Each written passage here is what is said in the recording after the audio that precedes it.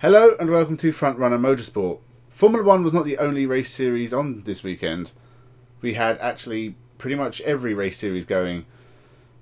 But from the world of electric racing, we had Formula E from Mexico. And it's rare that you get Formula One, Formula E, and IndyCar all in the same weekend. And I haven't watched IndyCar yet because I just haven't had time to watch everything. I'm getting there. But we talked about Formula One yesterday this is Monday technically. This might not be up Monday.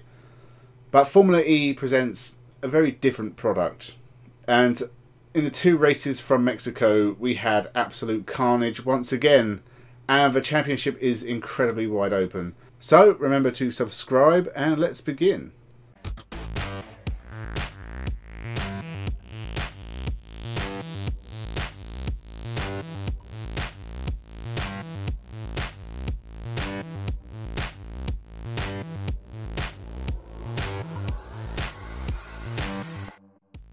To Front Runner Motorsport. I never really know how to start Formula E videos because there's so much going on. It's hard to know what order to do anything in. But I think the main point we got from Mexico is no one is consistent. One race, half the drivers crash. The next race, the other half do. And there's not really one contender who has stood out this year as being above everyone else.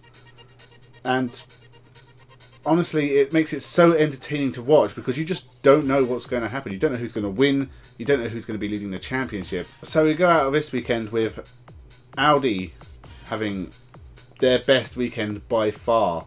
Di Grassi won the first race in Mexico with Rast second, so an Audi won two. It's been a long time since that happened, if it ever has. I'm sure Di Grassi and Abt were first and second at some point. This was Di Grassi's first win in over a year, which really is insane if you think about it. When you consider how good Di Grassi has been in Formula E over the years, how terrible last year was, and how badly this year's been going for him.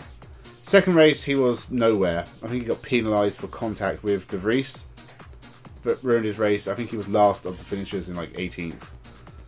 Rast, he finished second in the first race. I think he finished 10th in the second one, so he got points in both races. And he is right up the front as a championship contender. Mercedes had an awful weekend. I think Vandoorne scored points in the first race, but I think De Vries actually retired from both races. So, Mercedes, who were my pick at the start of the season, and are actually the manufacturer leaders at the moment, they didn't have a great weekend, and honestly, they're probably the best team, but they aren't consistent. As I said, no one's consistent, but Mercedes seemed to win one race and then crash, but this weekend, they barely got anything. Same with Virgin. Frijns was championship leader going in ahead of De Vries. Frijns didn't score any points this weekend. Cassidy had a fantastic podium in the second race, but nothing from the first. Jaguar, they were there in the midfield. They seem to be making up places, but I don't think they scored a lot of points this weekend. Techeetah, I think both Da Costa and Vergne had a retirement. Da Costa crashed, actually, and Vergne even had a spin himself, which dropped him out from 4th to 8th in the second race, and Da Costa had 6th in the first. It's not being a great year for Techeetah, and yet they're second in the constructors and only three points behind Mercedes. I think Jaguar are like one point behind them. So it's incredibly tight in both championships. But the people you'd think would rise to the top really aren't. But this weekend, Porsche, it looked like they took their first win, and it got disqualified straight away for a technical infringement, which also affected Nissan. I think Porsche are cursed because really I expected them to take their first win by now. And I did think it'd be Lotterer leading the charge, but he is having a dreadful year. I don't think Lotterer scored points again this weekend. I think he's only had one or two points finishes. I know one of them was like a second place. Or was it a podium? I can't remember what it was. But Wehrlein has been the better driver by far for Porsche this year. And he had a fantastic weekend. Won the first race and was disqualified. And he should have been first in the second race. He was catching Mortara very quickly and I think he would have overtaken him, but he made a mistake, and then I think maybe it was an energy thing or he got a penalty. He got dropped to fourth. So, once again, this was a really shitty weekend for Porsche. I think their time will come, but it doesn't look like it's going to be this year unless Wehrlein can keep this going. And he is definitely quick. He was on pole for the first race as well, and I think that's his second pole of the year. So the pace is there, they just don't have the luck. to go with it. I think Wehrlein is like 12th in the championship, but is still kind of a contender. You think 25 points for win, and I think the top 12 in the championship are separated by something like 23 points. So it can all change race by race, and it has been all season. There's only like four races left, four or five, maybe six. So there's still plenty that could happen. Lynn and Bird contact again, same as in Diriyah. So those two really don't like each other at this point. We had Vergne was out after contact with Alexander Sims. I think Sims and Lynn both scored points, so Mahindra had a good weekend. But the second race was all about Edoardo Mortara, who really this year has. I don't know where he got his pace from this year. It's like Da Costa last year, where I would consider Da Costa a midfield runner, and so I put him 16th in my predictions, and he ended up as champion. I can't remember where I put Mortara. Pretty sure it's lower than 10th and he's now leading the championship after taking Venturi's second ever win, the first being Mortara in Hong Kong a few years ago.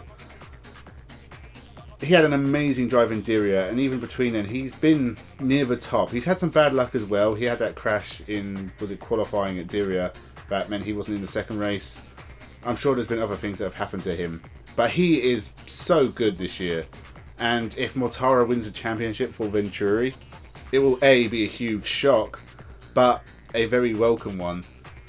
Uh, my prediction was Buemi winning the championship. Uh, he's currently 22nd. Uh, there's only three drivers behind him in the championship. One of them is Joel Eriksson, who's only had two races. Tom Blomqvist and Norman Nato are the others. So my predictions have pretty much gone out the window. So I honestly I don't think it could go much worse. Some I'm sure they'll find a way to make it worse but my predictions are usually pretty bad.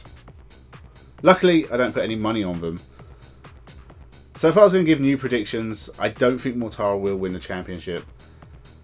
I would go for... I want to say Nyck de Vries because he has... When he's quick, he's quick. But he has a lot of bad races. Not necessarily his fault. He was driven into again this weekend, which I'm sure is not the first time that's happened this year. But I am going to say Mitch Evans,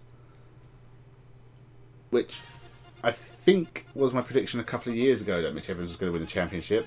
Actually, it might have been last year. I think last year Mitch Evans, I, I thought Jaguar were rising up. I think Mitch Evans could do it this year. I think he hasn't had a win yet. We've had eight winners from nine races, which is incredible. I don't think Mitch Evans has won a race yet. I might have to double check that because I can't really remember. But I think Mitch Evans is a top driver. Jaguar, they've had a good year. They're right up there in the constructors as well. So this could be the year that Mitch Evans and Jaguar come good. I've been saying it since last year. So I, I'm right, but I take a year to get right. You see.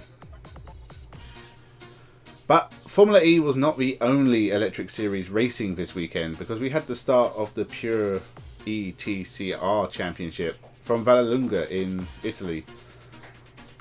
I did a preview on it, which was mostly touching on the drivers and how cool the cars looked. The cars all look awesome. They've done a really good job on that. I have issues with the format. I'm not sure. Um, some of the racing was good, some of it was kind of dull. And if you look at their YouTube channel, it's kind of a mess, the way they've uploaded it and I can't find the finals anywhere. I've seen pictures and read a report of it, but I can't find the actual race, which I'm guessing it was on Eurosport, but they're not uploading it to YouTube yet. Um, maybe they will eventually, but so I haven't seen the exciting race of, but definitely there was some work needed to be done for this series. But they've even really admitted that this is like a tester year, and it's aiming to be ready for next year to get more manufacturers involved, which it needs. So, if you haven't watched it, round one starts with three cars. I think they're random draws for position. Three cars, seven lap race. Most points for the first. And like rallycross, like the points go down. And so they have four of those because there's 12 drivers. They've only got six cars, so they're sharing cars at the moment. Again, that's something that might change and improve it. But the first round is fine. You've got three cars. I mean, the problem really occurred at the first race when Baptista spun someone was it Jordi Gené? And that let Augusto Farfus drive clear, and that was it after lap one or two. So that was the first issue. The second issue is the gates broke on the third race, so there was a long delay for that. But I'm guessing with new technology, that's always going to happen. They, I think they've had a few tests, but nothing really proper, and this was the first real event. There was always going to be teething issues.